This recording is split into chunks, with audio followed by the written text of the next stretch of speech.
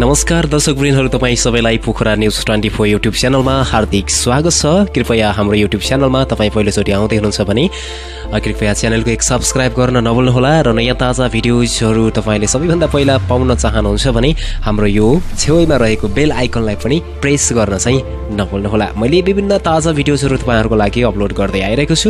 आज पनि जानकारी दिँदैछु एसएससी इस्टर्न रिजन मलेसियामा भइरहेको छ र चीन विरुद्ध आज नेपालले दस विकेटले विजय हासिल गरेको गरेको छ र ऐतिहासिक जित निकाल्न सफल भएको छ। अन्डर नाइन्टिन टिमका टोलीहरूले राम्रो प्रदर्शन गर्न सफल भएका छन्। सर्वप्रथम त हार्दिक बधाई ज्ञापन गर्न चाहन्छु मेरो तर्फबाट र सम्पूर्ण टिमलाई। र अब र आउने खेलहरूमा पनि सहजै जित हासिल गर्न सकोस्। शुभकामना व्यक्त गर्न चाहन्छु। यसको बारेमा मैले पुरा जानकारी दिँदैछु। कृपया यस भिडियोलाई अन्त्यसम्म हेर्नुहोला। मलेसियामा जारी ACC under nineteen eastern region cricket प्रतियोगिताको तेस्रो खेलमा समूह एमा रहेको चाइना र नेपाल बिचको खेलमा चीन विरुद्ध नेपालले दस विकेटले विजय भएको छ। चीनले दिएको मात्र चौन्न रनको सामान्य लक्ष्य नेपालले पाँच ओभरमा पुरा गर्यो। नेपालको लागि पवन सराफले एक्काइस बलमा छ चौका र तिन छक्काको मद्दतले छ्यालिस रनमा अभिजित रहे। यस्तै विस्फोटक पारी खेलेका छन्। रेत गौतमले उनले दस बलमा एक चौकाको मद्दतले दस रनको योगदान दिएका छन्।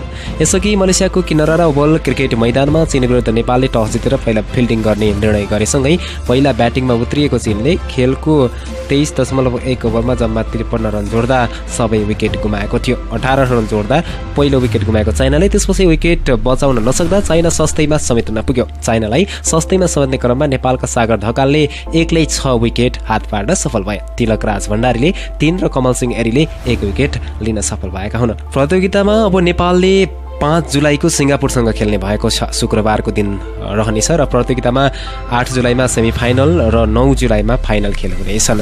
ACC under nineteen eastern region cricket यही जुलाई नौसम्म हुनेछ। प्रतियोगितामा नेपालसहित Malaysia Hong Kong Singapore Thailand Bhutan र चाइना गरी सात टिमको सहभागिता रहेको छ। म्यानमार पनि सहभागी हुने भनिएको प्रतियोगितामा म्यानमार नखेल्ने भएपछि सात टिम भएका हुन्। प्रतियोगिताको विजेता टिम सन् दुई हजार उन्नाइस र बिसको अन्डर नाइन्टिन एसिया कप खेल्न छनौट हुने भएका छन्। अवश्य पनि नेपाल छनौट हुन सक्ने प्रबल दावेदारको रूपमा मानिएको छ।